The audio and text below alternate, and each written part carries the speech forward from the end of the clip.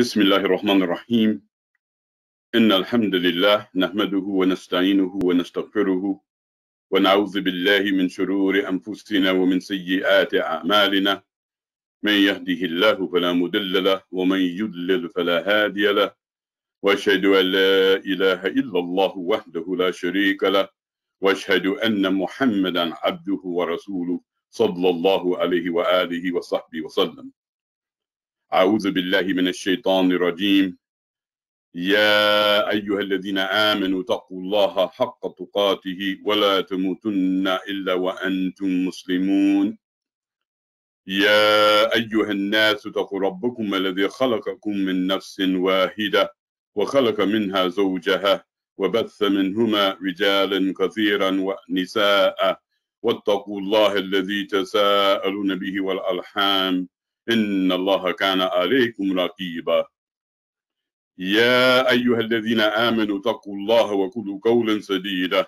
يصلح لكم أعمالكم ويغفر لكم ذنوبكم. ومن يطع الله ورسوله فقد فاز فوزا عظيما. أما بعد إن أصدق الحديث كتاب الله وخير هدي هدي محمد صلى الله عليه وآله وصحبه وسلم وشر أمور محدثاتها. وكل محدثة وكل بدعة ضلالة وكل ضلالة في النار ثم أما بعد My dear, beloved and respected brothers and sisters in Islam, Assalamu alaikum wa rahmatullahi wa barakatuh. It is indeed an honor and a pleasure to be with you here today, mashallah, on this, the fifth Friday of, Friday of this blessed month of Ramadan. So alhamdulillah, in this particular Ramadan, we have been blessed by Allah subhanahu to have five Fridays. And even though, subhanAllah, we are in the, the unprecedented in a situation of COVID-19 pandemic and uh, from wherever you are listening, I'm sure that you have had the experience of all of us that in our masajid are not available to us because we have to look out for the welfare of ourselves, our families, and the community at large. And this, of course, is one of the maqasid, one of the, the main goals of the sharia, of the deen of Allah subhanahu wa ta'ala. So we have been having this opportunity to come together on Fridays, mashallah, to connect with one another and just remind one another. And as we wind down the last few days of this blessed month of Ramadan, today, of course, being the 29th day, and anticipating, inshallah that we will also fast tomorrow, that this is a time for us to reflect on what have we benefited from this month, and that how have we increased our condition or we have we improved our condition in regard to our relationship with Allah subhanahu wa ta'ala. I'm sure that all of us we set some some goals, you know, for the beginning or at the beginning of the month of Ramadan. And whether it is uh, that we we made intention that we will complete the the reading of the tilawah of the mushaf, that we make khatim al-Quran bi or that we will perform all of our sunnah mu'akkada and all of our nawafil salawat, and that we will have special time every day for dua and azkar, and that we will, inshallah ta'ala, get up in the night and, and pray and cry in solitude in front of Allah subhanahu wa ta'ala that inshallah we have been able to to work hard to achieve those goals and meet those goals. But those goals in themselves are not the the final you know, destination that what we are striving to do is gain that quality gain mashallah that prize that allah has mentioned in his book Rajim. يا أيها الذين آمنوا كتب عليكم الصيام كما كتب على الذين من قبلكم لعلكم تتقون ما شاء الله تبارك الله and I'm sure we have heard this ayah now how many times during the month and we've heard it I think at the beginning of the month so we have the opportunity now to reflect about where we are, that what have we benefited from our fasting? What have we gained in this blessed month of Ramadan? Because the goal, as Allah subhanahu wa ta'ala has outlined it, mashallah, in, in so beautifully in, in the Quran, لَعَلَّكُمْ تَتَّقُونَ that we might gain this quality of taqwa. And we might gain this quality which, you know, it's very difficult to to translate it in, into the into the English language. It's a very inclusive, mashallah, word and, and concept of taqwa. And if we think about the uh, the definition or the description that was given by Umar radiallahu an when he was talking about describing the taqwa and that imagine yourself you are in a narrow path and on both sides of the path there are shrubs there are bushes which they are have thorns very and very difficult thorns on both sides of you that you close your garment tight to yourself and you very carefully tread your way through that path so that you are not inflicted by those thorns.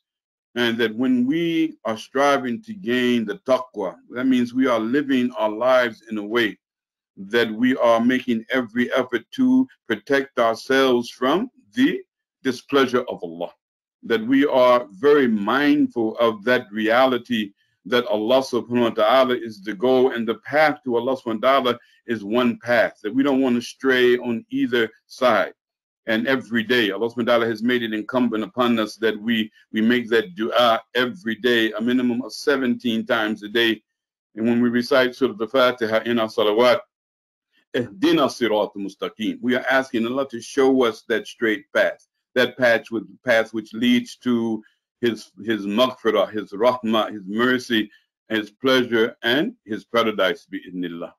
So, alhamdulillah, this is the opportunity for us to reflect upon how are we doing in our effort to gain that quality of taqwa, to gain that quality which allows us to navigate through our everyday, you know, existence here in the life of this world, in our dealings with and our our parents, our spouses, our siblings, and our extended family, and our colleagues, our teachers, our students, our customers, you know, our neighbors, and all of these things that we are doing every day that have to be conducted in an understanding and in, in, in an attitude of taqwa, of getting close to Allah subhanahu wa ta'ala, being aware of Allah subhanahu wa ta'ala.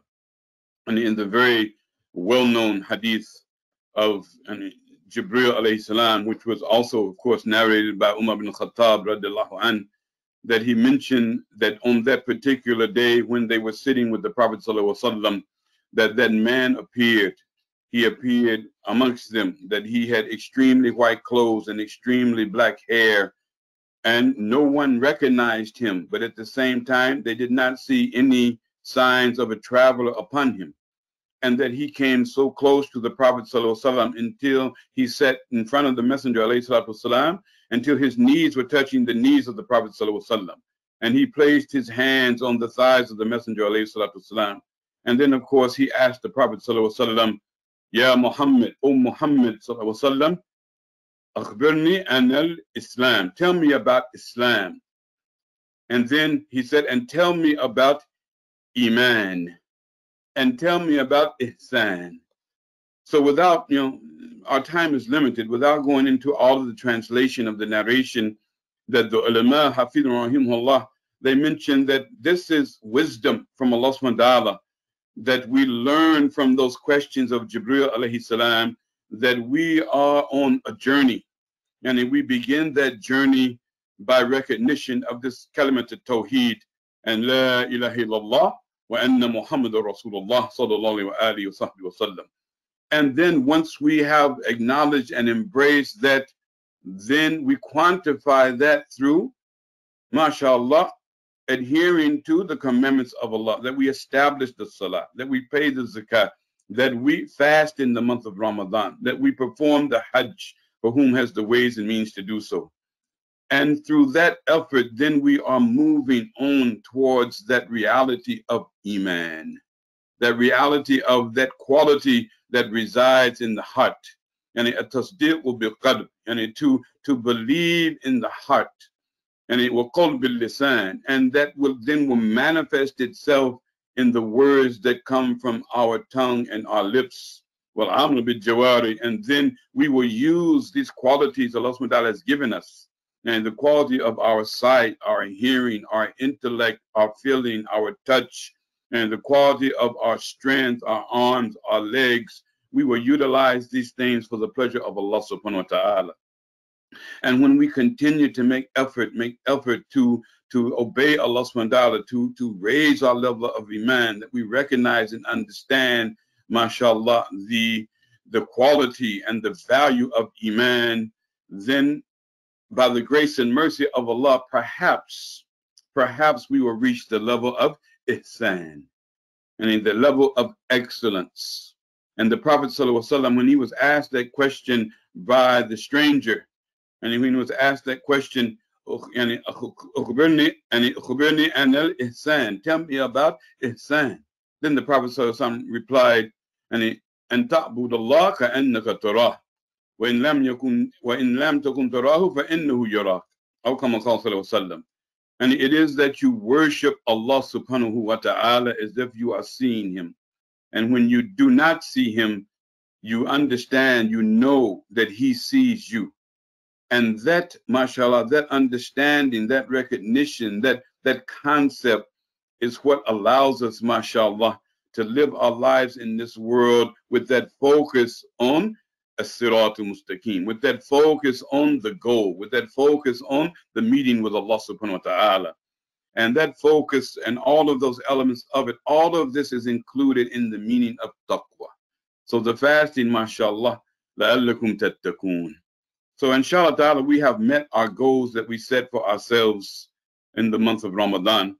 And we ask Allah to accept all of those efforts but we want to make sure we want to evaluate ourselves that where we are. Because the prophet sallallahu he mentioned an authentic narration and a longer narration but at the end of that narration he pointed to his chest three times.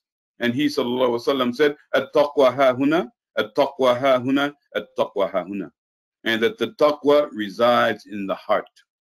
So indeed this is something that we are striving to to, to develop and to establish and something that is known only between us and Allah. And, and, uh, and subhanAllah, in that beautiful hadith of Qudsi, where Allah subhanahu wa ta'ala mentioned about the fasting and the reward for fasting, he said in the words of the Prophet sallallahu alaihi wasallam, that verily the fasting is for me, that is for Allah subhanahu wa ta'ala, and I will give the reward for it. And just as the fasting is so that we may gain the quality of taqwa, that that quality resides in the heart and it is only known and felt by us and Allah subhanahu wa ta'ala. So mashallah, as we are now on this blessed fifth Friday of the month of Ramadan, the 29th day of Ramadan, we can reflect back on where we were at the beginning of this month. And what was the condition of our heart at the beginning of this month? And what is the condition of our heart now as we are preparing to to mashallah have the the yom yom al-eid yani the day of eid and say farewell to this blessed month of ramadan.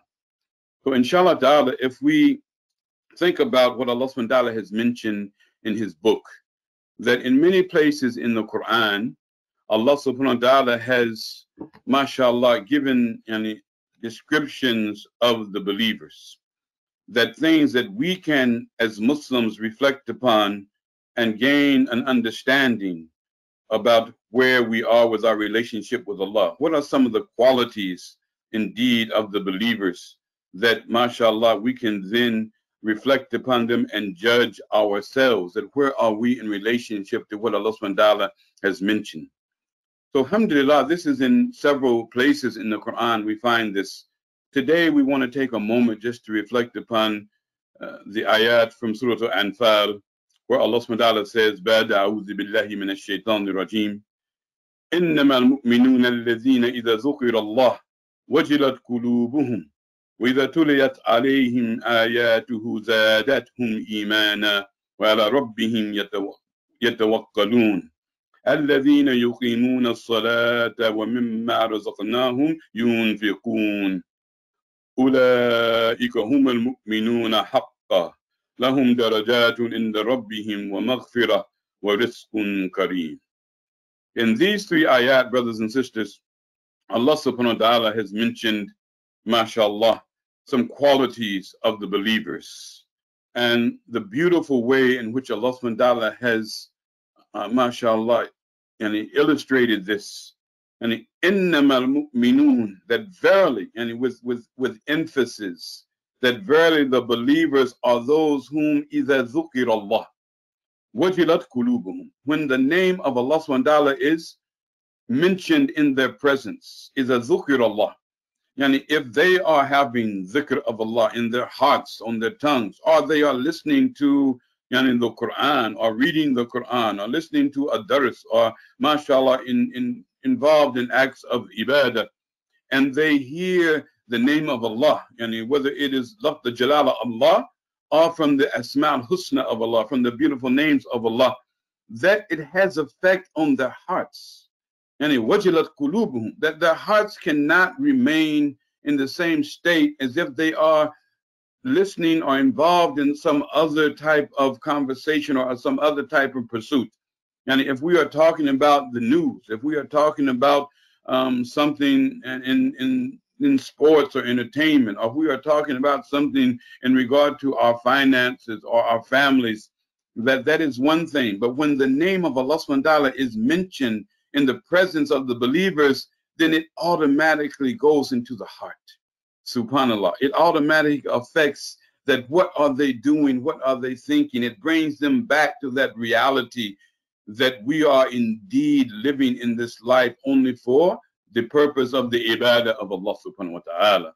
That we have, mashallah, indeed been given so many blessings, so many ni'm from Allah subhanahu wa ta'ala that we have to always maintain this concept and this attitude of shukr, of gratitude to Allah. That subhanAllah, whatever it is that we may think is important or whatever it is that we may see that it brings some type of um, hum or, or importance or worry to our hearts, that in the end, Allah subhanahu wa ta'ala is the one that everything has to be focused on. So mashallah, this is a quality of the of the believers that when the name of Allah subhanahu wa ta'ala is mentioned in their presence, that their hearts shake and their hearts are affected, that they cannot hear the, the name of Allah subhanahu wa ta'ala or from the Asma al-Husna of Allah, the excellent, beautiful names of Allah, except that it goes to their heart and it, it mashallah, causes their heart to reflect upon that. وَإِذَا تُلِيَتْ عَلَيْهِمْ آيَاتُهُ زَادَتْهُمْ إِيمَانًا And when the ayat of Allah are recited in their presence.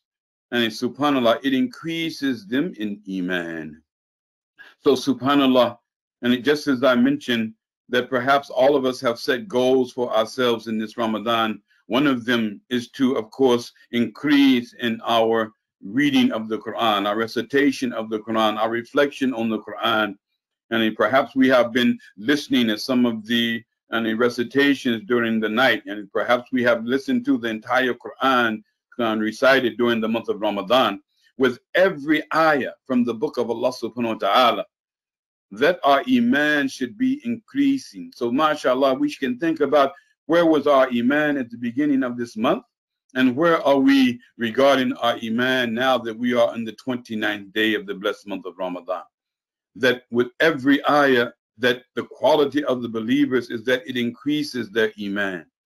And we know, brothers and sisters, mashallah, that the Quran and Allah subhanahu wa ta'ala has utilized by his, his infinite, all-encompassing wisdom and mashallah, his mercy for the believers, that we know there is, mashallah, uh, an abundant uh, use of repetition in the Quran.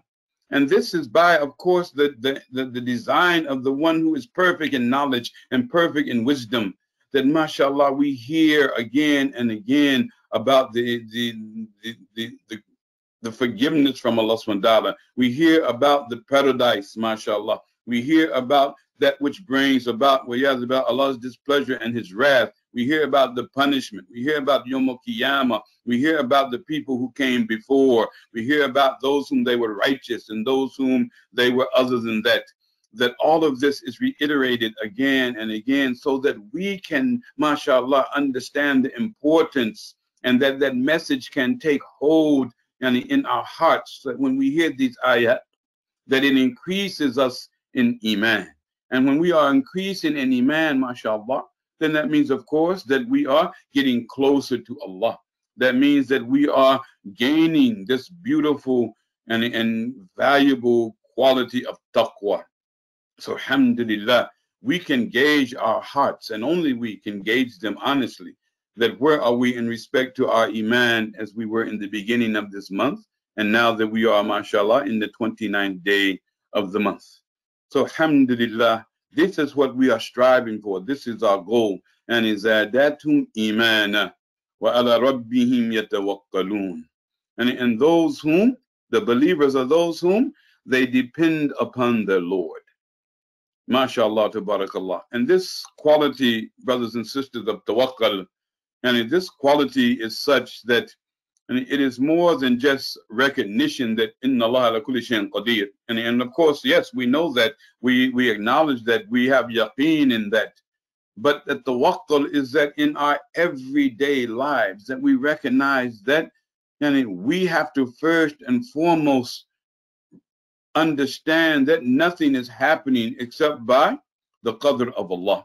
That everything that we are striving for, everything we hope to obtain, everything we hope to you know, be away from, that it is only going to happen if we put our faith and trust completely in Allah subhanahu wa ta'ala.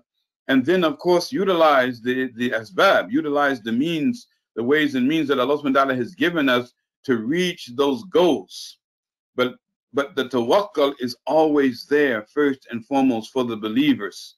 And when we think about the you know, the situation that we are all experiencing, this unprecedented situation of COVID-19 pandemic, and that we have not experienced in our lifetime something like this, that of course there's a lot of questions, especially from uh, the the different religious communities that you know, why is this happening? You see people, well, yeah, like questioning their faith. You see people questioning about the rahmah of Allah. You see people questioning about, you know, if this is happening, then what's the, the, the purpose or what's the goal? Subhanallah, we don't question Allah subhanahu wa ta'ala. We recognize that whatever Allah subhanahu wa ta'ala has decreed must indeed come to pass. Qadr Allah wa ma sha'a And whatever Allah subhanahu wa ta'ala has decreed indeed must come to pass and we are the ones that we have been given the, the, the beautiful concept of sabr. And it has been explained to us in the Quran. It has been explained to us by the teaching and the practice of the Messenger والسلام.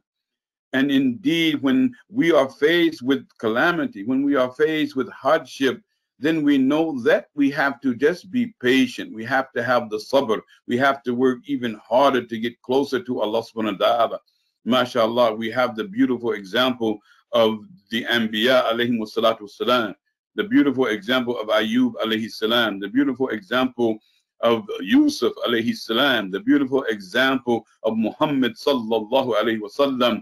And we are, of course, his ummah, that we are the ones that we do not ask for difficulty, we do not ask for hardship, but we recognize that when Allah subhanahu wa ta'ala tests us, that this is a ways and means of us gaining, mashallah, expiation of sin, a ways and means of us, mashallah, yani, preparing ourselves for the meeting of Allah through our continuing to obey Him, to praise Him, to worship Him, and to, mashallah, be resigned to what He has written for us. Then Allah subhanahu says that الَّذِينَ يُقِيمُونَ wa وَمِمَّا رَزَقْنَاهُمْ yunfiqun. and of course, the qual- one of the qualities of the believers is that they establish the salah. And in the salah, that connection with Allah. And we know how important yani, the salah is in the month of Ramadan. And how much emphasis we put on the salah and in the blessed month of Ramadan. So mashallah, tabarakallah, yani, the salah and the quality of the salah. And it's not about so much the quantity, but mashallah, we want to establish in our salah a true connection with Allah. And we have that devotion, we have that concentration that when we raise our hands and we make that takbir ihram, when we say Allahu Akbar to begin our salah, then we understand and recognize and internalize the significance that mashallah we are now in the midst of this dunya but we are separating ourselves for this dunya for the purpose of connecting with Allah subhanahu wa ta'ala.